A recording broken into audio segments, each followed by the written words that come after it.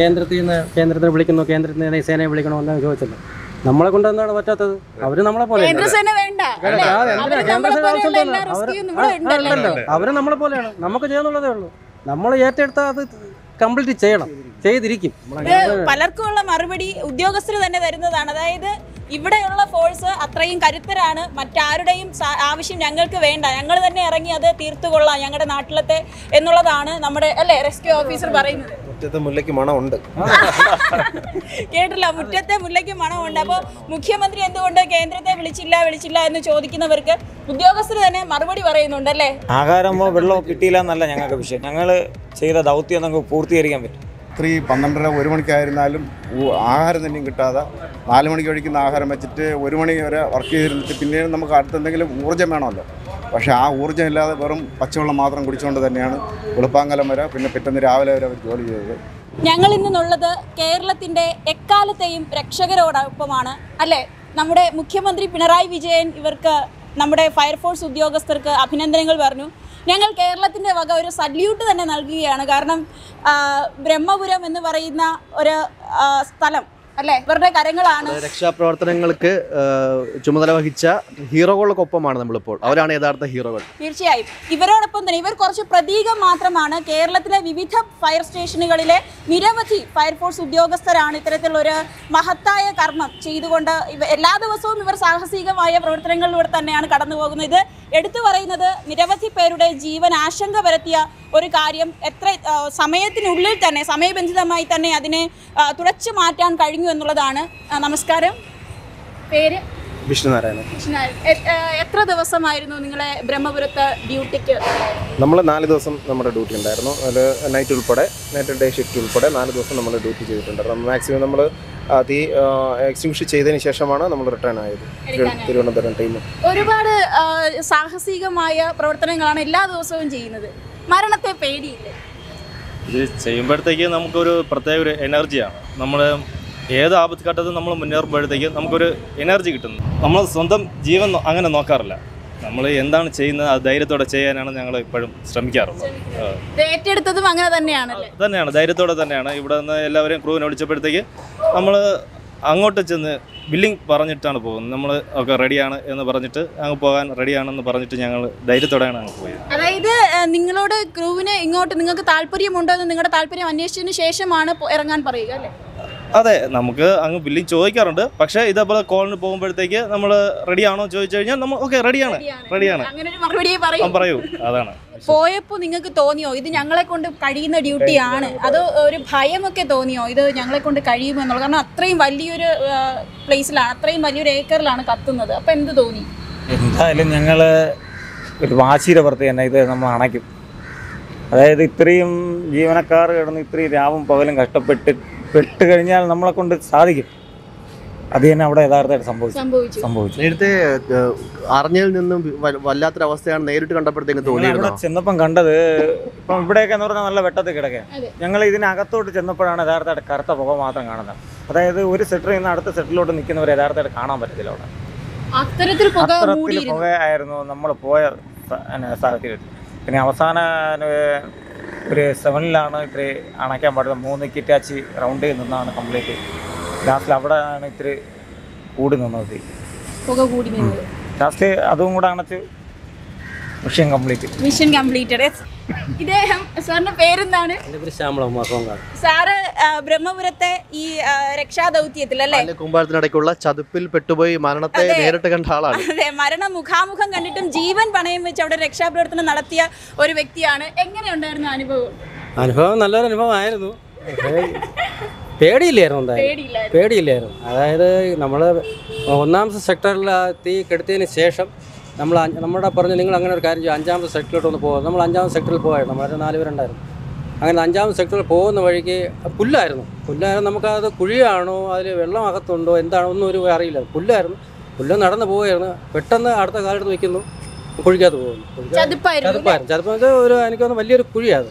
ഈ മലിനജല കമ്പളിയിൽ നിന്ന് ഇറങ്ങി രണ്ട് രണ്ട് സൈഡും മലയാണ്. ഈ ചവറിന്റെ മലയായിരുന്നു. അവിടെ നിന്ന് ഈ ഒലിച്ചിറങ്ങുന്ന വെള്ളം ആ അഴുക്ക് വെള്ളമായിരുന്നു. അത് നിറഞ്ഞ് കിടക്കുകയായിരുന്നു. അതിൽ ഒരു കാൽ പോയി അടുത്ത കാൽ വയ്ക്കുന്നു അത് അടുത്ത കാൽ ആദ്യം ഇത്രയ്ക്ക് വെടിപ്പിന്റെ അതുവരെ മുങ്ങിയായിരുന്നു. അപ്പോൾ എന്റെ കൂടെ വന്ന് രക്ഷപ്പെടാനുള്ള രക്ഷപ്പെടാൻ അതിന് എന്റെ കൂടെ വന്ന് എന്റെ കൂടെ ഉണ്ട് സാർ പുള്ളിക്കാരൻ എന്നെ പിടിച്ച് വലിച്ച് കയറ്റിയാണ് പിടിച്ച് വലിച്ച് കയറ്റിയും പുള്ളിക്കാരനും താന്നു എന്റെ കൂടെ. അപ്പോഴേ പുള്ളിക്കാരൻ താന്നുകൊണ്ട് പുള്ളിക്കാരൻ എന്നെ വിട്ടായിരുന്നു. വിട്ടാൽ വിട്ടാലേ പറ്റില്ല അല്ലെങ്കിൽ പുള്ളിക്കാരൻ എന്റെ കൂടെ താർന്നു പോകും. അപ്പോഴത്തേക്ക് ഇതുപോലെ പിള്ളങ്കയാണ് പുള്ളിക്കാരൻ പെട്ടെന്ന് ഒരു സൈഡ് മാറിയിട്ട് എന്നെ വലിച്ചു കയറ്റി. വേറെ രണ്ട് ഓടി വന്ന് എല്ലാവരും കൂടെ വലിച്ചു കയറ്റിയാണ് ചെയ്തത്. അപ്പോഴാണ് ഒരു ഇതായത്. എല്ലാവർക്കും ഒരു വലിയൊരു ഇതായിരുന്നു. അതിനുശേഷം ഉടൻ തന്നെ വേറെ സേഫ് ആയിട്ടുള്ള സ്ഥലത്ത് മാറ്റി അതിനുശേഷം ജോലി തുടർന്നോ? അല്ല കയറി പിന്നെ നമ്മൾ വീണ്ടും അങ്ങ് പോയാണ്. പിന്നെ പിന്നെ ഒന്നും ചിന്തിച്ചിട്ടില്ല പിന്നെ.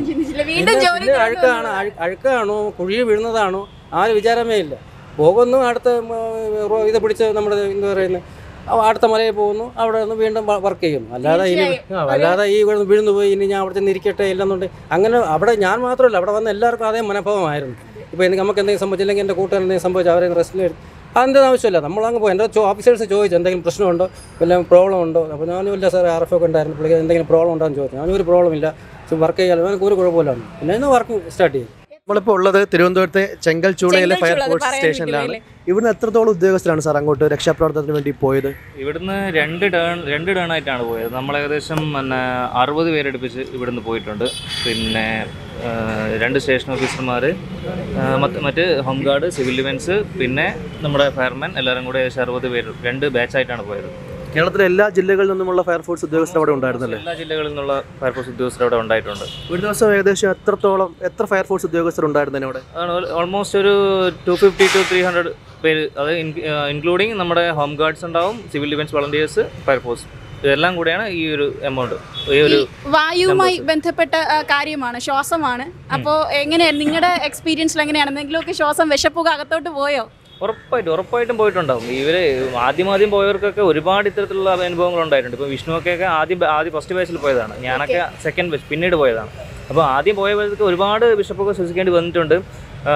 സഫീഷ്യന്റ് ആയിട്ട് അവർക്ക് മാസ്ക് ഒക്കെ കിട്ടിയിട്ടുണ്ടോ എന്ന് തന്നെ സംശയമാണ്. നിങ്ങൾക്ക് കൃത്യമായിട്ട് കാനിസ്റ്റർ മാസ്ക് ഒക്കെ കിട്ടിയിട്ടുണ്ടായിരുന്നു നമ്മൾ പന്ത്രണ്ട് മണിക്കൂർ കണ്ടിന്യൂസ് ആയിട്ട് വർക്ക് ചെയ്യുന്ന സമയത്ത് ഈ എങ്ങനെ ഇരുന്നാലും ഒരു മുപ്പത് ശതമാനം ഒക്കെ ഉള്ളിൽ പോകും. പുക വെച്ച് നോർമൽ പുകയല്ല ഇത്? വിഷപ്പൊക്കെയാണ് ഈ വേസ്റ്റ് നോർമലി ഉണ്ടാകുന്ന ഈ വേസ്റ്റ് ഓൾറെഡി ചൂടാകുമ്പോൾ അന്തരീക്ഷ വായു അന്തരീക്ഷ മർദ്ദം ടെമ്പറേച്ചർ വർദ്ധിക്കുന്നതിനനുസരിച്ചിട്ട് ഡയോക്സിനും ബ്യൂട്ടേനും പോലുള്ള വിഷവാതങ്ങളുണ്ടാവും അത് കത്തുന്നു സ്വയം കത്തുന്നതാണ്. കത്താനായിട്ട് പ്രത്യേക ഒരു സോഴ്സിന്റെ ആവശ്യമില്ല. ഓട്ടോമാറ്റിക്കലി കത്തും. അപ്പോൾ ഈ ഇത് കംപ്ലീറ്റ് വിഷപ്പൊക്കെയാണ് ഇത് ഉള്ളിൽ ചെന്ന് കഴിഞ്ഞാൽ മാരകമായിട്ടുള്ള അസുഖങ്ങൾ ഉണ്ടാകാൻ സാധ്യതയുണ്ട്. പിന്നെ ഇപ്പോൾ നമ്മുടെയൊക്കെ ഒരു യങ് ഏജാണ് മുപ്പത്തിനാല് മുപ്പത്തഞ്ച് ഇപ്പോഴായിരിക്കും നമുക്ക് എന്റെ ബുദ്ധിമുട്ട് ഒരു പത്ത് പതിനഞ്ച് വർഷം കഴിയുമ്പോഴായിരിക്കും എന്റെ ബുദ്ധിമുട്ട് അനുഭവിക്കുക.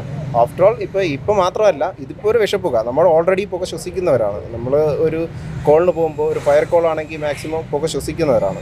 അത് പുക ഓൾറെഡി ഫയർ ഫയർഫോഴ്സുകാരൻ വലിച്ച് കയറ്റുന്നുണ്ട്. ഒരു സിഗരറ്റോ വീഡിയോ വലിക്കുന്ന അവരെക്കാൾ കൂടുതൽ പുക നമ്മൾ ഫയർ സർവീസിൽ വർക്ക് ചെയ്യുന്നവർ വലിച്ചു കയറ്റുന്നുണ്ട്. അത് നമ്മുടെ ജോലിയുടെ ഭാഗമായിട്ട് അത് പിന്നീട് ഭാവിയിലായിരിക്കും നമുക്ക് എഫക്ട് ചെയ്യുക. ആയുസ് കുറയുന്നിടത്തോളം ഇത് വരുമെന്ന് തോന്നുന്നു അല്ലെ.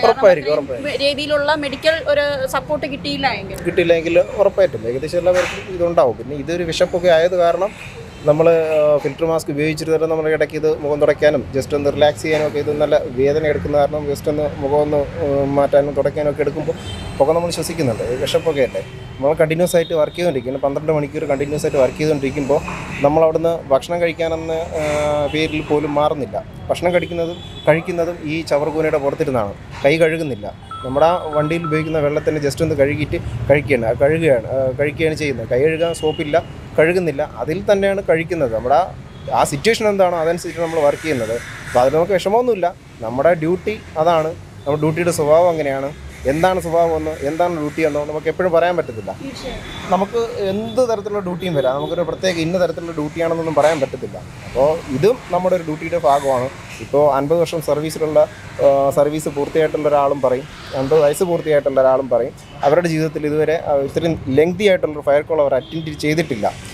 എന്നാണ് അവർ പറയുന്നത്. അതായത് ഈ അൻപത് വർഷത്തിനിടയ്ക്ക് ഇത്രയും വലിയൊരു ഇത് ആദ്യമായാണ് സംഭവിക്കുന്നത്. ആദ്യമായിട്ടാണ് സംഭവിക്കുന്നത്. ഈ പതിമൂന്ന് പതിനാല് ദിവസം നീണ്ടു നിൽക്കുന്ന ഒരു ഫയർ അതും ഇങ്ങനെ പോലൊരു മാലിന്യ പ്ലാന്റിൽ ഉണ്ടാകുന്ന ഒരു ഫയർ അപ്പോൾ അതിന്റെ ഒരു തീവ്രത എന്ന് പറയുന്നത് വളരെ വേദനാജനകവും വളരെ ഭീതിജനകവുമാണ്. അപ്പോൾ അത് പുക ശ്വസിച്ചിരുന്ന പൊതുജനങ്ങളായിരുന്നാലും നമ്മളായിരുന്നാലും അതിന്റെ ആഫ്റ്റർ എഫക്റ്റ് എന്ന് പറഞ്ഞാൽ വളരെ വലുതായിരിക്കും.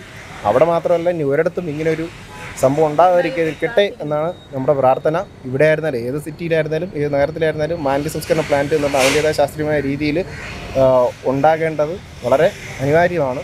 അത് സർക്കാർ അതിന്റെതായ രീതിയിൽ പരിഗണിച്ച് കൊണ്ടുവരണമെന്നാണ് നമ്മുടെ അഭ്യർത്ഥന. ഇത് പലരും ഗുരുതരമായ ഒരു വിഷപ്പുകയല്ല. ഇത് മനുഷ്യരെ ബാധിക്കില്ല എന്നുള്ള ചില തരത്തിലുള്ള കാര്യങ്ങളൊക്കെ പറയുന്നുണ്ട്. അതിലാണോ വാസ്തവം? അതോ ഇത് മനുഷ്യ ശരീരത്തെ പ്രതികൂലമായി ബാധിക്കുന്ന ഗുരുതരമായ ഒരു വിഷപ്പുക തന്നെയാണോ? നമുക്ക് കൂടുതൽ ശാസ്ത്രീയമായിട്ട് പറയാനുള്ള അറിവ് നമുക്കില്ല. എന്തായാലും ഇത് ഭൂമിയിൽ നമ്മൾ ഉണ്ടാക്കുന്ന എല്ലാ സാധനങ്ങളുടെ വേസ്റ്റും ഉണ്ട്.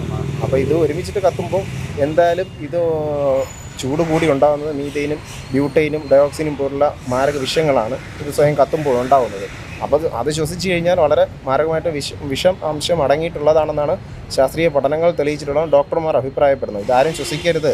അവിടെ നിന്ന് കഴിവത് മാറിപ്പോവുക എന്നാണ് ഡോക്ടർമാർ ഉൾപ്പെടെ വിദഗ്ധർ പറയുന്നത്. പക്ഷെ നമുക്കവിടെ നിന്ന് ഒരിക്കലും ഇങ്ങനെയുള്ള സിറ്റുവേഷൻ നിന്ന് മാറിപ്പോകാൻ പറ്റത്തില്ല. മറ്റൊരാൾ അപകടത്തിൽ നിന്ന് ഒരു സാധാരണക്കാരൻ മാറിപ്പോകുമ്പോൾ നമ്മൾ ആ അപകടത്തിലേക്ക് എടുത്തു ചാടുന്നവരാണ് ഫയർ ഫയർഫോഴ്സുകാർ നമുക്കൊരിക്കലും അത് നമ്മുടെ കർത്തവ്യമാണ്. അതൊരിക്കലും നമുക്കത് നമ്മുടെ അല്ലെങ്കിൽ നമ്മുടെ ഡ്യൂട്ടി ചെയ്യുന്നവരുടെ ജീവന് വില കൊടുത്തിട്ട് മാറി നിൽക്കാൻ പറ്റത്തില്ല. നമുക്ക് അവിടെ അവരെയും രക്ഷിക്കണം പിന്നെ ഡ്യൂട്ടി അവിടെ കാഷ്വാലിറ്റി ഉണ്ടെങ്കിൽ അവരെ രക്ഷപ്പെടുത്തണം. അതാണ് നമ്മുടെ കടമ. നമുക്ക് അവിടെ മാറി പോകാൻ പറ്റത്തില്ല. നമ്മൾ പറഞ്ഞ ചില വാർത്തകളിൽ നിന്ന് അവിടെ മാലിന്യ പ്ലാന്റിന്റെ അകത്തേക്ക് ഫയർഫോഴ്സ് വാഹനം കയറാനുള്ള സൗകര്യമൊക്കെ ഇല്ല എന്നൊക്കെ കേട്ടു. അത് വാസ്തവമാണോ? വാസ്തവമാണ് വാസ്തവമാണ്. അതൊരു മാലിന്യ പ്ലാന്റ് അല്ലേ. അപ്പോൾ അവിടെ അവരുടെ കോർപ്പറേഷൻ വെഹിക്കിൾസ് മാത്രം കയറാനുള്ള ഒരു സ്ഥലമാണ്. പിന്നെ അവരുടെ ചവർ ഫാക്ടറി വണ്ടികൾ കൊണ്ടുവരുന്നു ചവർ കൊണ്ട് നിക്ഷേപിക്കുന്നു. അതിന് വേണ്ടിയിട്ടുള്ള കാര്യങ്ങൾക്ക് വേണ്ടിയിട്ടുള്ളതാണ്. പെട്ടെന്ന് ഇതുപോലൊരു എമർജൻസി സിറ്റുവേഷൻ ഉണ്ടാകുമ്പോൾ അതിനുള്ള സൗകര്യം ഇല്ല.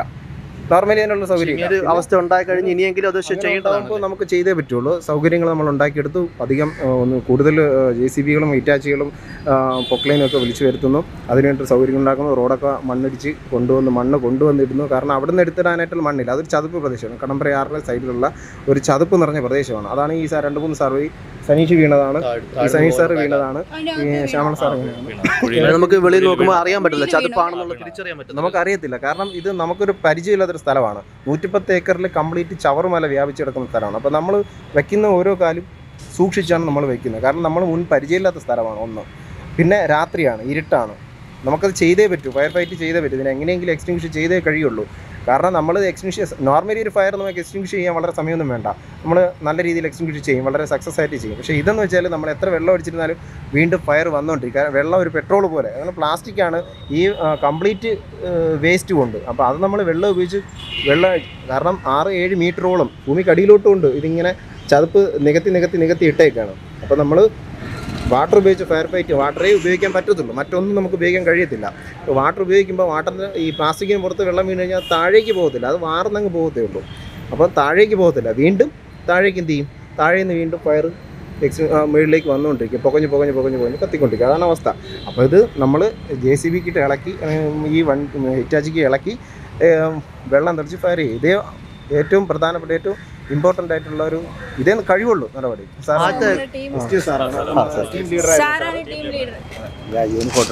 അത് കുഴപ്പമില്ല. എന്നാലും എന്താണ് കേരളത്തിന്റെ വലിയൊരു സന്തോഷം ഞങ്ങൾക്കും ഉണ്ട്. ആ ഒരു സന്തോഷവും സ്നേഹവും പങ്കുവെക്കാൻ കൂടെയാണ് ഫോക്കസ് ഇപ്പൊ ഇങ്ങോട്ട് വന്നത്.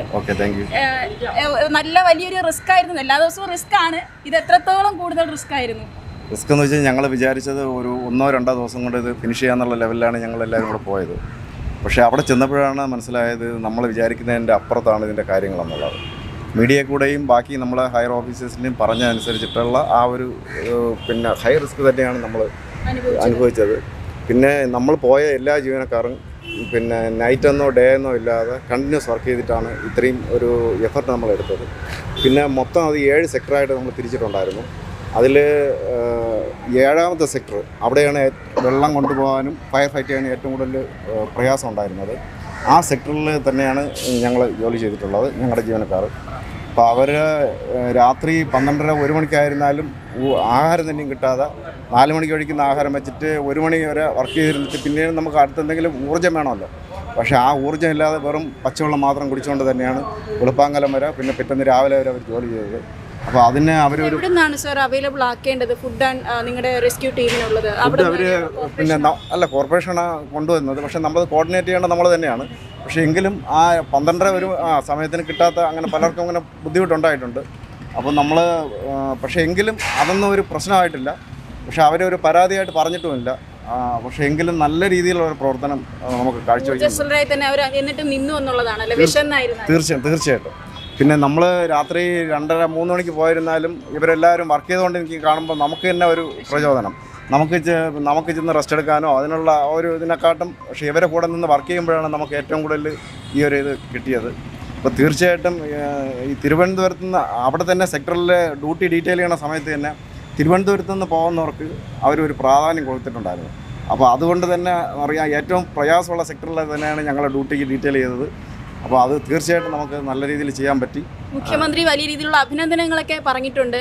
ഈ പക്ഷെ എല്ലാ ദിവസവും നിങ്ങൾ റിസ്ക് എടുക്കുന്ന ആൾക്കാരാണ്. വേണ്ട തരത്തിലുള്ള ഒരു പരിഗണന നമ്മുടെ സംസ്ഥാന സർക്കാരിൽ നിന്ന് ലഭിക്കുന്നുണ്ടോ എല്ലാ തരത്തിലും? തീർച്ചയായിട്ടും. സംസ്ഥാന സർക്കാരിൽ നിന്ന് ലഭിച്ചുകൊണ്ടാണ് നമുക്ക് ഇത്രയും പ്രൊട്ടക്റ്റ് ആയിട്ടുള്ള ഉപകരണങ്ങൾ കിട്ടിയത്. അഡ്വാൻസ്ഡ് ആയിട്ടുള്ള ഉപകരണങ്ങളൊക്കെ ലഭിച്ചിട്ടുണ്ട് തീർച്ചയായിട്ടും തീർച്ചയായിട്ടും. അത് ഈ എല്ലാ കാലകാലങ്ങളിൽ പറഞ്ഞ സർക്കാരുകൾ ആധുനികവൽക്കരണത്തിന് ഈ അടുത്ത കാലത്ത് നൽകുന്ന പ്രാധാന്യം മുതലെടുത്തുകൊണ്ട് തന്നെയാണ് ഞങ്ങൾ ഫീൽഡിൽ നല്ല രീതിയിൽ വർക്ക് ചെയ്യുന്നത്. പിന്നെ ഇന്നലെ ജഡ്ജി നല്ല രീതിയിൽ അഭിനന്ദിച്ചു. അത്. എനിക്ക് തോന്നുന്നു എന്റെ അനുഭവത്തിൽ ഒരു ഹൈക്കോടതി ജഡ്ജി നമ്മളെ എഴിച്ചു നിന്ന് സല്യൂട്ട് ചെയ്യുന്നത് ആദ്യമായിട്ടാണ്. അത്. എന്തോ കേരളം മുഴുവൻ സല്യൂട്ട് ചെയ്യുക കേരളം സല്യൂട്ട് ചെയ്യുന്നതിൽ ഒരു ജസ്റ്റിസ് നിന്ന് സല്യൂട്ട്. ചെയ്യുമ്പോഴേ അതിന്റെ ഒരു ത്രില്ല് വേറെയാണ്. അത്. വേറെ ഒരു സേനയ്ക്കോ ഒരു വിഭാഗത്തിനോ കിട്ടാത്ത ഒരു പരിഗണനയാണ്. അത് അവർ നേരിട്ട് അനുഭവിച്ച ഒരു കാര്യമാണ്. അപ്പം തീർച്ചയായിട്ടും ജനങ്ങൾ ഞങ്ങളോടെ ഉണ്ട്. ഞങ്ങൾ ജനങ്ങൾക്ക് വേണ്ടി പ്രവർത്തിക്കുന്നു. ഞങ്ങളും നിങ്ങളോടൊപ്പം തന്നെയുണ്ട് നിങ്ങൾ ഞങ്ങൾക്ക് വേണ്ടിയാണെന്ന് ഞങ്ങൾക്കും നല്ല പൂർണ തുടക്ക സമയത്തൊക്കെ ഈ ഹെലികോപ്റ്റർ വെച്ചുള്ള വാട്ടർ സ്പ്രേയിങ് ചെയ്തിരുന്നു. പക്ഷേ അത്ര സക്സസ്ഫുൾ അല്ല എന്നൊരു വിവരം അറിഞ്ഞു. എന്താണ്? സക്സസ്ഫുൾ അല്ലെന്ന് വെച്ച് കഴിഞ്ഞാൽ ഹെലികോപ്റ്ററിലെന്ന് വെച്ച് കഴിഞ്ഞാൽ നമുക്ക് ഒരു ബക്കറ്റ് പോലത്തെ ഒരു സാധനമുണ്ട്. അതിലിങ്ങനെ ഹെലികോപ്റ്റർ അവിടെ പോയിട്ട് വെള്ളം എടുത്തിട്ട് ഇവിടെ കൊണ്ടുവന്ന് പോർ ചെയ്യുകയാണ് അപ്പം നമ്മൾ ഉദാഹരണത്തിൽ പറയുന്നത് നമ്മൾ കൈ കുമ്പിളിൽ കുറച്ച് വെള്ളം എടുത്തിട്ട് പിന്നെ കൊണ്ടുവന്ന് അവിടെ ഒഴിക്കുന്ന ആ ഒരു എഫക്റ്റേ ഉള്ളൂ. പക്ഷേ ഇപ്പോഴത്തെ ഈ ഈ തീ എന്ന് വെച്ച് കഴിഞ്ഞാൽ പുറമേ കാണുന്ന തീയല്ല. അകത്തുള്ള തീയാണ്. അത് സാധാരണ വേസ്റ്റ് കത്തുന്ന തീയല്ല. അതിനകത്തുള്ള വാതകങ്ങൾ കത്തുന്ന തീയാണ്. അത് മണ്ണിന്റെ അടിയിൽ തന്നെ ഓക്സിജന്റെ സാന്നിധ്യം ഇല്ലാതെ തന്നെയാണ് തീ കത്തുന്നത്. അപ്പോൾ ആ കത്തുന്ന തീ എന്ന് വെച്ചാൽ നമ്മൾ പൊക്ലൈൻ ഉപയോഗിച്ചിട്ട് ഇളക്കി മാറ്റിയതിന് ശേഷം ഹൈ പ്രഷറിൽ വെള്ളം അടിച്ചിട്ട് മാത്രമേ. മുകളിൽ നിന്ന് കാണുന്നതിനെക്കാട്ടിയും അകത്തേക്ക് അത്ര ഡെപ്തിലേക്ക് തന്നെ ഈ ഹെലികോപ്റ്റർ ഒക്കെ ഉപയോഗിക്കാൻ വളരെ ഒരുപാട് പൈസ പണച്ചെലവ് വരുന്ന ഒരു കാര്യമാണ് അപ്പൊ ഇത്തരത്തിൽ ചെറിയൊരു ബക്കറ്റ് എടുത്തിങ്ങനെ അതൊരു ഒരു മണ്ടത്തരം എന്നുള്ള രീതിയിലൊക്കെ ചില പ്രചരണം കണ്ടു. ശരിയാണോ അത്? പക്ഷേ നമുക്ക് അതങ്ങനെ പറയാൻ പറ്റില്ല. നമുക്ക് ഒരു ക്രൈസിസ് വരുന്ന സമയത്ത് നമ്മൾ പല രീതിയിലും പല മാർഗങ്ങൾ ഉപയോഗിക്കും. പക്ഷെ പക്ഷേ അത് ഫെയിലൂർ ആയെന്നുള്ളത് കൊണ്ട് അങ്ങനെ പ്രയോഗിച്ചത് ഒരു തെറ്റായ രീതിയാണെന്ന് നമുക്ക് പറയാൻ പറ്റില്ല. ചിലപ്പോൾ വേറൊരു സാഹചര്യത്തിൽ നമുക്ക് സേനയ്ക്ക് കടന്നു ചെല്ലാൻ പറ്റാത്തൊരു സാഹചര്യം ഉണ്ടെങ്കിൽ ചിലപ്പോൾ അത് സക്സസ് ആകും. പക്ഷേ ഇത് അങ്ങനെയല്ല സേനയ്ക്ക് കടന്നു ചെല്ലാൻ പറ്റുന്നതും ഈ പൊക്കളൈൻ ഉപയോഗിച്ചിട്ട് ഇളക്കി തീ അണയ്ക്കാൻ പറ്റുന്നതായ സാഹചര്യം ഉള്ളതുകൊണ്ടാണ് അത് സക്സസ് ആവാതെ പോയത്. എന്ന് വിചാരിച്ചത് ഇപ്പം അമേരിക്ക അതൊരു നഷ്ടമല്ല. ഉപയോഗിക്കാവുന്ന എല്ലാ മാർഗങ്ങളും തേടണം. തേടുന്നതാണ് തീർച്ചയായിട്ടും. അത് പിന്നെ സർക്കാരായിരുന്നാലും ആരായിരുന്നാലും അങ്ങനെയുള്ള ഒരു ക്രൈസിസ് വരുന്ന സമയത്ത് പല രീതിയിലുള്ള കാര്യങ്ങൾ തേടാറുണ്ട്. അതിലൊന്ന് മാത്രമായിട്ട് ഇതിനെ കണ്ടാൽ മതി തീർച്ചയായും. അത് അനുഭവത്തിൽ നിന്നാണ് അത്രയും ഇതായിട്ട് പറയുന്നത്. സാറിന്റെ പേര്? എന്റെ പേര് വിജിൻ എന്നാണ്. വിജിൻ എന്നാണ്. എത്ര ദിവസം ഉണ്ടായിരുന്നു ഈ ഫീൽഡിൽ? ഞങ്ങൾ ഇവിടെ നാല് ദിവസം അത് അതിനു പുറമെ ഞങ്ങൾ ഇവിടെ തലേ ദിവസം രണ്ട് ദിവസത്തേക്ക് മുമ്പ് ഇവിടെ Attukal duty Attukal duty day in നൈറ്റുമായിട്ട് Attukal duty കഴിഞ്ഞ് ഞങ്ങൾ വീട്ടിൽ പോയി. വീട്ടിൽ പോയതിനു ശേഷം ഞാൻ അറിയുന്നത് തന്നെ എട്ടര മണിക്കാണ്. രാത്രി അതായത് വിശ്രമമില്ലാതെ അടുത്ത ദിവസം അതിലോട്ട് അത് അതെ. ഇവിടെ ആറ്റുകാൽ ഡ്യൂട്ടി കഴിഞ്ഞ് അത് കഴിഞ്ഞ് വീട്ടിൽ പോയതിന് ശേഷം പിറ്റേന്ന് എന്നെ രാത്രി ഒരു എട്ടര മണിക്കാണ് ഞാൻ അറിയുന്നത്. എട്ട് നാൽപ്പതിന് എന്നെ വിളിച്ച് വിജിനെ ഇതുപോലെ ഞാനാണ് സാറിനെ വിളിച്ചത്. സാറേ ഇതുപോലെ ഒരു സംഭവം ഉണ്ടല്ലോ. ഇവിടെ നമ്മുടെ നിലയത്തിൽ നിന്ന് പത്തൊൻപത് പേര് ഇതുപോലെ പോകുന്നുണ്ടെന്ന് പറഞ്ഞു. ഞാൻ കൂടെ പോട്ടെ. അപ്പോൾ എന്റെ അടുത്ത് എന്റെ അടുത്ത് സാർ പറഞ്ഞു ആരെ വിട്ടിരുന്നാലും എന്തായാലും നിന്നെ വിടാൻ പോകുന്നില്ല വിജിനെ എന്ന് പറഞ്ഞു. എന്നിട്ട് സാറ് എന്നെ എന്നെ ഇവിടെ സ്റ്റേഷൻ പോകണമെന്ന് നിന്ന് തിരിച്ച് എന്നെ വിളിച്ച്. എത്ര മണിക്ക് എത്താൻ പറ്റും? ഞാൻ പറഞ്ഞു സാറേ ഒരു മുക്കാൽ മണിക്കൂറുണ്ട് ഞാൻ നേരിയിലാണ് താമസിക്കുന്നത്. മുക്കാൽ മണിക്കൂറുണ്ട് എത്താൻ പറ്റുമെന്ന് പറഞ്ഞു. അത് കഴിഞ്ഞിട്ട് ഞാൻ ഞങ്ങളിവിടെ വന്ന് ഞാനും അവിടെ സാറും പിന്നെ ബസ് ഉണ്ടായിരുന്നു അപ്പോൾ ഞങ്ങൾക്ക് ഇവിടെ അപ്പോൾ ഞങ്ങൾ നമ്മൾ ടീമെല്ലാം എല്ലാം എനിക്ക് വേണ്ടിയാണ് യഥാർത്ഥമായിട്ട് വെയിറ്റ് ചെയ്ത് ഒരു അരമണിക്കൂറോളം വെയിറ്റ് ചെയ്തത് ഞങ്ങൾ പിന്നെ ഇവിടെ നിന്ന് കറക്റ്റ് പത്തരയ്ക്ക് ഞങ്ങൾ ബസ് ഓടിച്ച് ഞങ്ങൾ ഇവിടുന്ന് പോവുകയായിരുന്നു അവിടെ ഒരു നാലേ മുക്കാലൊക്കെ ഞങ്ങൾ എത്തി. തിരിച്ച് കറക്റ്റ് ആറ് മണിക്ക് ഞങ്ങൾ ആറ് മണിക്ക് സ്പോട്ടിലോട്ട് പോയി നമ്മൾ സത്യത്തിൽ ഇത് കേൾക്കുമ്പോൾ വളരെ രോമാഞ്ചമുണ്ട്. എന്തെന്ന് പറഞ്ഞാൽ വിശ്രമമില്ലാതെ കഴിഞ്ഞ ദിവസം ജോലിയിലായിരുന്നു. അതിനുശേഷം ഒരു ആളെ ലിസ്റ്റിൽ ഇട്ടില്ലെങ്കിൽ പോലും ജീവൻ പണയം വെച്ചുള്ള ഒരു കാര്യമാണ് ചെയ്യാൻ പോകുന്നതെന്ന് ഉറപ്പുണ്ടായിട്ടും ഞാൻ കൂടെ വരാം എന്ന് പറയുന്ന ഒരു ഉദ്യോഗസ്ഥൻ ഒരാൾ അങ്ങോട്ട് ആവശ്യപ്പെട്ട് അങ്ങനത്തെ ഒരു സിറ്റുവേഷൻ ഹാൻഡിൽ ചെയ്യാം. ഞങ്ങൾ മാത്രമല്ല ഈ തിരുവനന്തപുരം നിലയത്തിൽ നിന്ന് പോയതിൽ ഈ തിരുവനന്തപുരം നിലയത്തിൽ നിന്ന് പോയ കംപ്ലീറ്റ് വരും. ആറ്റുകാൽ ഡ്യൂട്ടിക്ക് രണ്ട് രണ്ട് ദിവസം കണ്ടിന്യൂസ് ഡ്യൂട്ടി ചെയ്തവരാണ്. അപ്പോൾ ഇങ്ങനെ ഒരു സംഭവം വരുമ്പോൾ നമ്മളടുത്ത് അടുത്ത് വിളിച്ച് ചോദിക്കും ഇതുപോലെ ആരെങ്കിലും പോകാൻ നിങ്ങളാരെങ്കിലും പോകുന്നുണ്ടോ എന്ന് ചോദിക്കും. ഇപ്പം മാക്സിമം ഞങ്ങൾ പോകാമെന്ന് തന്നെ പറയും. ആരും ഇങ്ങനെയുള്ള സംഭവത്തിൽ പോകാൻ ഞങ്ങളാരും വരുന്നില്ല ഇന്നലെ ഡ്യൂട്ടി കഴിഞ്ഞവരാണ്. ഞങ്ങൾ അങ്ങനെ ആരും പറയാ പറയാറില്ല. തീർച്ചയായും. അത് ഞങ്ങളെ സംബന്ധിച്ച് വളരെ പ്രത്യേകതരം ത്രില്ലും കൂടെ അങ്ങനത്തുള്ള വളരെ സിറ്റുവേഷൻസ് ഫേസ് സ്നേഹവും ചെയ്യുമ്പോൾ സന്തോഷവും നിങ്ങളോട് വലിയ ബഹുമാനവും തോന്നുന്ന ഒരു സമയമാണ്. സാറിന്റെ പേര്? എന്റെ പേര് അഭിലാഷ് അഭിലാഷ് എന്നാണ്. എത്ര ദിവസം ഉണ്ടായിരുന്നു അവിടെ? നാല് ദിവസം ഉണ്ടായിരുന്നു. നാല് ദിവസം ഉണ്ടായിരുന്നു. എന്തെങ്കിലും വളരെ വിഷമകരമായ അനുഭവങ്ങൾ ഉണ്ടായിരുന്നു? വിഷമകരമായ അനുഭവമല്ല. പിന്നെ എല്ലാവരും ഓരോരുത്തരും ഓരോ മനുഷ്യരും അതിൽ ചെയ്യുന്ന അത്രയും ഹൈ റിസ്ക് ആയിട്ടാണ് ജോലി ചെയ്തത്. ഈ പറഞ്ഞ പോലെ ഒന്നാമത്തെ സെക്ടറും ഏഴാമത്തെ സെക്ടറും വാട്ടർ എത്തിക്കുക എന്ന് പറയുന്നത് നല്ല ബുദ്ധിമുട്ടുണ്ടായിരുന്നു. കാരണം ഏഴാമത്തെ സെക്ടർ എന്ന് പറഞ്ഞാൽ ഒരു ഇറക്കമാണ്. വണ്ടി ചവിട്ടിയാൽ പോലും കിട്ടത്തില്ല. തെന്നി ചെളിയായി. അവസാനത്തെ രണ്ട് മൂന്ന് ദിവസങ്ങളിൽ ചെളിയായി. അപ്പോൾ ചെളിയാകുമ്പോൾ വണ്ടി ചവിട്ടിയാൽ പോലും നിൽക്കില്ല. അത്രയും റിസ്ക് എടുത്ത് അവിടെ വെള്ളം എത്തിച്ച് ഈ തീ അണച്ചതിന് വളരെ സന്തോഷമുണ്ട്. എല്ലാ ജനങ്ങൾക്ക് വേണ്ടിയാണ് നമ്മൾ ഇത് ചെയ്തതിന് വളരെ സന്തോഷമുണ്ട്. അടുത്തടുത്തിൽ ഗുരുതരമായിട്ടുള്ള കെമിക്കൽ റിയാക്ഷൻ ഉണ്ടാവുന്ന സാഹചര്യങ്ങളിൽ നേരത്തെ പങ്കെടുത്തിട്ടുണ്ടോ?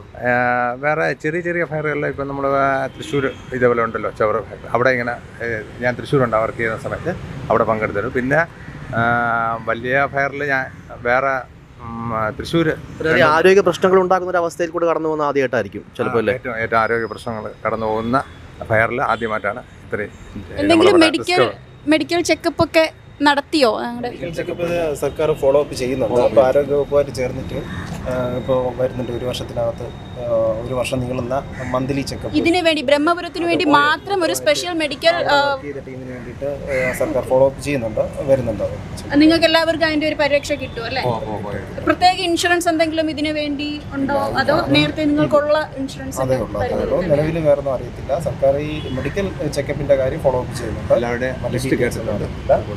ലിസ്റ്റ് ചോദിച്ചിട്ടുണ്ട് ഒരു കൊല്ലത്തെ ഇന്നലെ ഒരു കൊല്ലത്തേക്ക് ഓരോ മാസം വീതം ഹോസ്പിറ്റലിൽ ചെക്ക് ചെയ്യാനുള്ള നടപടിക്രമങ്ങൾ ആരോഗ്യവകുപ്പിൽ നിന്ന് ചോദിച്ചിട്ടുണ്ട്. അതിന്റെ ഫോളോ അപ്പിലാണ് രണ്ട് മൂന്ന് ദിവസത്തിനകത്ത് തന്നെ അത് ഉണ്ടാവുമെന്ന് പ്രതീക്ഷിക്കുന്നു. ഇതുവരെ എല്ലാ ജയശങ്കർ ചോദിച്ചു നമ്മളെ മാത്രമല്ല ഇതിൽ പങ്കെടുത്ത സിവിൽ സിവിൽ ഡിഫൻസ് വോളണ്ടറിമാർ ഹോം ഗാർഡുകൾ പിന്നെ കോർപ്പറേഷന്റെ ജീവനക്കാർ. ജെ സി ബി ഓപ്പറേറ്റർമാർ എല്ലാവർക്കും. വേണ്ടി എന്തായാലും അങ്ങനത്തുള്ള ധീരമായ പ്രവർത്തനം കാഴ്ചവെച്ച എല്ലാ ഉദ്യോഗസ്ഥരുടെ ആരോഗ്യം സർക്കാർ കൂടെ. കരുതുന്നു എന്നുള്ള കാര്യം തികച്ചും നല്ല അഭിമാനകരമായ കാര്യമാണ്. ചോദിച്ചതുപോലെ നേരത്തെ അതായത് ആദ്യമായാണ് ഇത്രയും വലിയൊരു സാഹസികമായ ജീവന് പ്രശ്നമുള്ള ഒരു ഇതിൽ പങ്കെടുക്കുന്നത്.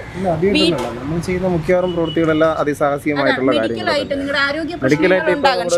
സംബന്ധമായ സംബന്ധമായിട്ടുള്ള പ്രശ്നങ്ങൾ തന്നെയാണ് ഉപയോഗിക്കുന്നത്. അവർ നമ്മൾ കൂടുതൽ കൺജസ്റ്റഡ് പ്ലേസുകളിലൊക്കെ ആയിരിക്കും ചെയ്യുന്നത്. ഇപ്പോൾ ഒരു പ്ലാന്റ് ആയിരുന്നാലും ഫാക്ടറി ആയിരുന്നാലും നമ്മൾ അവിടേക്ക് ഫയർ ഉണ്ടാകുമ്പോൾ വർക്ക് ചെയ്യാൻ നമുക്ക് ബി എ സെറ്റ് പോലുള്ള കൃത്രിമ ശ്വാസം നൽകുന്ന ഉപകരണങ്ങൾ ഇട്ടുകൊണ്ട് വർക്ക് ചെയ്യാൻ കഴിയും. പക്ഷേ ഇവിടെ ഇതുപോലൊരു ഓപ്പൺ സ്പേസിൽ ഇതുപോലൊരു മാസ് ഫയർ ഉണ്ടാകുമ്പോൾ നമുക്കൊരു പ്രായോഗികമല്ല. കാരണം പത്ത് മുന്നൂറ് പേര് വർക്ക് ചെയ്യുന്നു. ആ മുന്നൂറ് പേർക്കും ബി എ സെറ്റ് ഇട്ട് വർക്ക് ചെയ്യുക എന്ന് പറയുന്നത് പ്രായോഗികമല്ല. സർവീസിൽ മുഴുവൻ പിന്നെ ബി എ സെറ്റ് ഉപയോഗിക്കുന്നതിന് കഴിയില്ല. കാരണം ഒരു ബി എ സെറ്റ് നമുക്ക് അര അരമണിക്കൂർ യൂസ് ചെയ്യാൻ കഴിയുള്ളൂ. വീണ്ടും റീഫിൽ ചെയ്യണം യൂസ് ചെയ്യണം. അപ്രായോഗികമാണത് നിങ്ങളുടെ കുടുംബത്തിൽ നിന്നൊക്കെ ഉള്ളവർ ഇതെന്താണ്? ഇത്തരത്തിലുള്ള അടിയന്തര ഘട്ടങ്ങളിൽ പോകുമ്പോൾ വിഷമമാണ് അവർക്ക് വിഷമമാണ് അവർ സങ്കടമാണ്. പക്ഷേ ഇത് നമ്മുടെ ഡ്യൂട്ടിയാണ്. നമ്മൾ അവരെ പറഞ്ഞ് മനസ്സിലാക്കും. നമ്മളൊരു സേനയാണ്. അപ്പോൾ നമ്മുടെ ജീവന സ്വത്തിനും ജനങ്ങൾക്ക് എന്ത് അപകടം സംഭവിച്ചിരുന്നാലും നമ്മളവിടെ ഒരിക്കലും നമ്മൾ കുടുംബം എന്ന് പറഞ്ഞോ മാറി നിൽക്കാൻ പാടില്ല. ഒരു നമ്മുടെ സ്വകാര്യ കാര്യങ്ങൾ പറഞ്ഞ് മാറി നിൽക്കാൻ പാടില്ല. നമ്മുടെ ഡ്യൂട്ടിയാണ്. ഇറ്റ്സ് അവർ ഡ്യൂട്ടി. അതുകൊണ്ട് അത് അവർക്ക് വിഷമമുണ്ടാവും അത് തന്നെയാണ്. അത് അതുപോലെ തന്നെയാണ്. അപ്പോൾ ഒരാൾ അപകടത്തിൽപ്പെടുമ്പോൾ രക്ഷപ്പെടുത്തുക എന്ന് പറയുന്നത് നമുക്ക് വളരെ ഏറ്റവും വലിയ ഇമ്പോർട്ടന്റ് ആണ്. അപ്പോൾ ഒരിക്കലും അവർ വിഷമിക്കില്ല. ചെറിയൊരു വിഷമം ഉണ്ടാവും അത് നമ്മൾ പറഞ്ഞ് മനസ്സിലാക്കും. അതെ തീർച്ചയായും. അതെ. നാടിന് വേണ്ടിയാണ്. അതെ അതെ അതെ. എന്താണ്? എത്ര ദിവസമായിരുന്നു അവിടെ ഉണ്ടായിരുന്നത്? ഞങ്ങൾ നാല് ദിവസം തന്നെയാണ് ഞങ്ങൾ ഒരുമിച്ച് ഒരു ആയിട്ടാണ് പോയിരുന്നത്. നാല് ദിവസം നല്ല രീതിയിൽ വർക്ക് ചെയ്യാൻ പറ്റിയതാണ് ഞങ്ങളുടെ ഉറപ്പ്. പിന്നെ പോകുമ്പോഴത്തേക്ക് ആദ്യം നല്ല ഫയറൊക്കെ ഉണ്ടായിരുന്നു. അതിനിടയ്ക്ക് വെച്ചിട്ട് നല്ല ഹൈ ക്വാളിറ്റി മാസ്ക് ഒക്കെ ഞങ്ങൾക്ക് കിട്ടിയായിരുന്നു. അത് വെച്ചിട്ട് നല്ല രീതിയിൽ വർക്ക് ചെയ്യാൻ പറ്റി. ഈ ആവശ്യാനുസരണം വെള്ളം ഈ എഫ് ഡിമാരാണ് രണ്ടുപേരും. ആവശ്യാനുസരണം വെള്ളം എത്തിച്ച് നമ്മൾ അണയ്ക്കാൻ പറ്റി. അതന്നെ അത് തന്നെയാണ് ഞങ്ങൾ പറയാനുള്ളത്. ഇവിടെ നമ്മുടെ കേരളത്തെ ആകെ ആശങ്കയിൽ നിർത്തിയ അല്ലെ?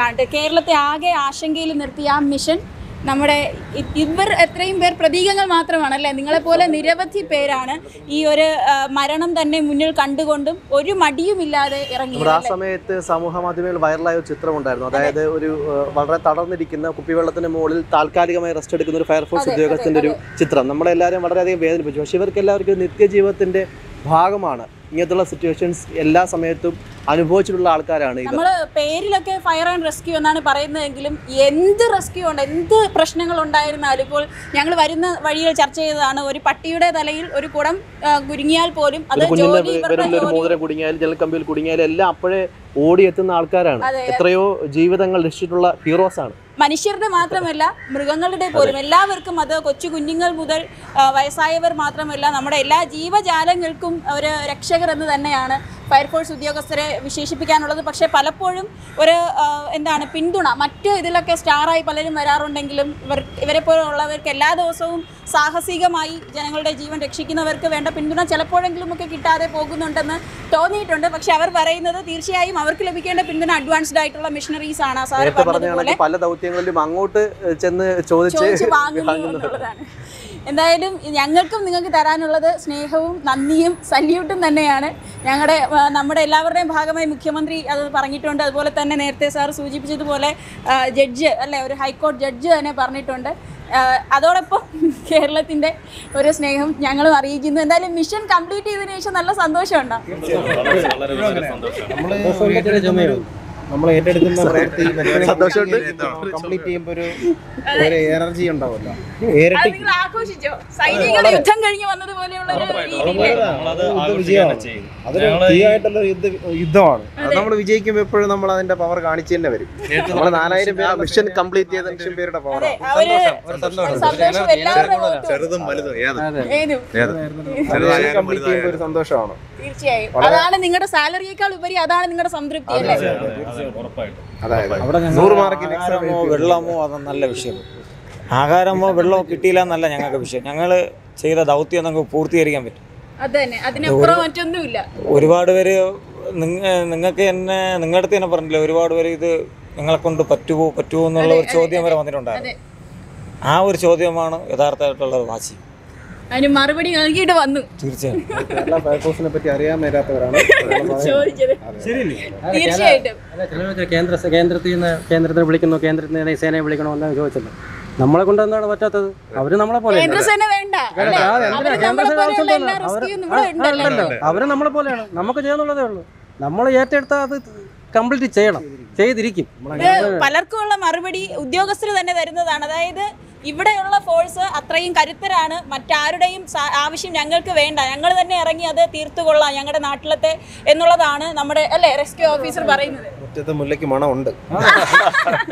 കേട്ടില്ല മുറ്റത്തെ മുല്ലയ്ക്ക് മണമുണ്ട്. അപ്പോൾ മുഖ്യമന്ത്രി എന്തുകൊണ്ട് കേന്ദ്രത്തെ വിളിച്ചില്ല വിളിച്ചില്ല എന്ന് ചോദിക്കുന്നവർക്ക് ഉദ്യോഗസ്ഥർ തന്നെ മറുപടി പറയുന്നുണ്ട് അല്ലേ? അത് മുഖ്യമന്ത്രിയുടെ എന്തെങ്കിലും രാഷ്ട്രീയ പ്രശ്നങ്ങൾ കൊണ്ടല്ല ഇവിടുത്തെ സേനയെ നമ്മുടെ നാട് അംഗീകരിക്കുന്നത് കൊണ്ടും വിശ്വസിക്കുന്നത് കൊണ്ടും തന്നെയാണ്. അത് ഇവർക്ക് കിട്ടുന്ന അംഗീകാരമാണ് അത് മറ്റൊന്നും അല്ല എന്നുള്ളതാണ് എടുത്തു പറയുന്നത് അല്ലേ? തീ കത്തുമ്പോൾ ഓടുന്നവരാണ് ഇത് പറയുന്നത്. ഇത് തീ കത്തുമ്പോൾ ഞങ്ങൾ യഥാർത്ഥമായിട്ട് അകത്തോട്ടാണ് കയറാറ് പുറത്തേക്ക് ഓടാറില്ല. പുറത്തേക്ക് ഫയർഫോഴ്സ് ടീം എന്ന് പറയുന്നത് പുറത്തോട്ടൊന്നുമല്ല ഞങ്ങളെല്ലാം അകത്തോട്ടാണ്.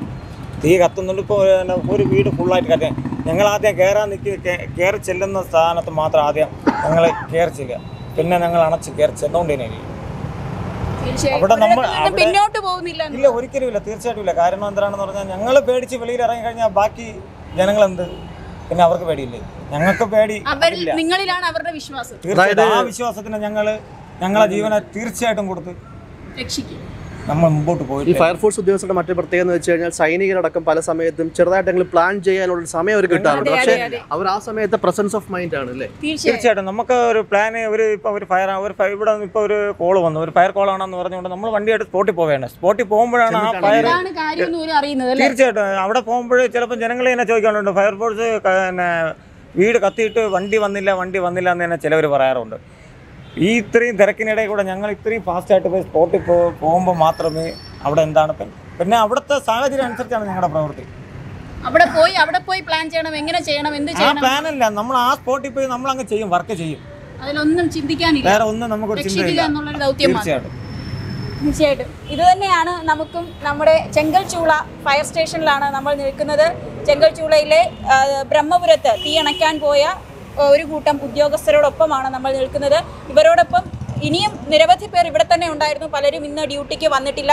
പലർക്കും മെഡിക്കലായിട്ടുള്ള പ്രശ്നങ്ങളുണ്ട് അതിപ്പോൾ വേണ്ട രീതിയിൽ ഒരു പക്ഷേ അറിഞ്ഞില്ലെങ്കിലും പിന്നീട് അറിയും. അത്തരത്തിൽ എല്ലാവരും ശാരീരികവും ആയിട്ട് വളരെ രീതിയിൽ കഷ്ടപ്പെട്ട് മരണത്തോട് എന്താണ് മുഖാമുഖം കണ്ടു തന്നെയാണ് എല്ലാവരും അതേപോലെ തന്നെ ബ്രഹ്മപുരം പോലെയുള്ള സന്ദർഭങ്ങൾ ഇനിയും ഉണ്ടായാലും ഇവർക്ക് ഒരു പ്രശ്നവുമില്ല. ഇവർ കടന്നു ചെല്ലും. പക്ഷെ നമ്മൾ ആഗ്രഹിക്കുകയാണ് പൊതുജനങ്ങൾക്കും ഈ ഫയർഫോഴ്സ് ഉദ്യോഗസ്ഥരും അടക്കമുള്ള ആൾക്കാർക്ക് എന്തെങ്കിലും പറയണം. ആ ഒരു കാര്യം പറഞ്ഞല്ലോ അപ്പോൾ എല്ലാത്തിനും നമ്മളെ കോർഡിനേറ്റ് ചെയ്ത് കൊണ്ടുപോയ തൃക്കാക്കര സ്റ്റേഷനിലെ S T O Satheesan sir സാറിന്റെ സ്റ്റേഷൻ തൃക്കാക്കര സ്റ്റേഷൻ പരിധിയിലായിരുന്നു ബ്രഹ്മപുരം പ്ലാന്റ് അപ്പോൾ അവിടുത്തെ സതീശൻ സാറ് സാറെന്ന് പറയുന്നത് പന്ത് പതിമൂന്ന് ദിവസം കണ്ടിന്യൂസ് ആയിട്ട് സാറ് വർക്ക് ചെയ്യുമായിരുന്നു പിന്നെ അവിടുത്തെ പിന്നെ D F O sir Harikumar sir അവിടുത്തെ R F O Sujith sir നമ്മുടെ തിരുവനന്തപുരം ആർ എഫ് ഒ നമ്മുടെ പ്രചോദനം തന്ന് നമ്മളെ നിർദ്ദേശം തന്നിട്ട് ഗൈഡ് ചെയ്ത നമ്മുടെ Dileepan sir R F O എല്ലാവർക്കും നമ്മൾ നല്ല രീതിയിൽ പ്രോത്സാഹനം തന്ന് വേണ്ട നിർദ്ദേശങ്ങളും സൂരജ് സാറ് നമ്മുടെ ഡി എഫ് ഒ എല്ലാവരും വേണ്ട രീതിയിലുള്ള ഗൈഡ്ലൈൻ ഗൈഡിങ്ങും ഒക്കെ തന്നിട്ടാണ് നമ്മൾ അയച്ചത്.